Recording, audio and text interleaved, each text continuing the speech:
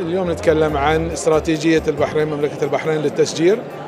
الاستراتيجية تهدف إلى زراعة 150 ألف شجرة سنويا واللي تارجت إن إحنا نحصل إلى 1.8 مليون في سنة 2030 الاستراتيجية آه، بدأت في 2022 بزراعة 140 ألف وحققنا فيها إنجاز التارجت.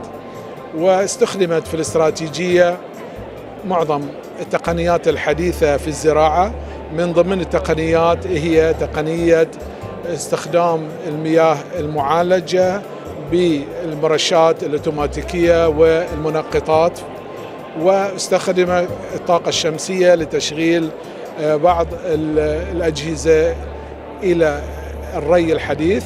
كما استخدم تقنية التصريف الزراعي في بعض المواقع اللي تحتاج إليها عملية صرف.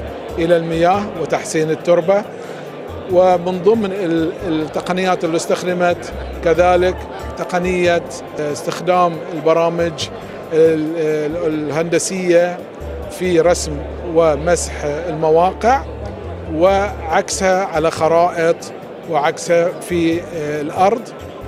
هذه التقنيات استخدمت مع الزراعة والحمد لله كلها تكللت بالنجاح وإن شاء الله في تقنيات حديثة في طور الدراسة وسوف تستخدم في خلال هذه السنة إن شاء الله.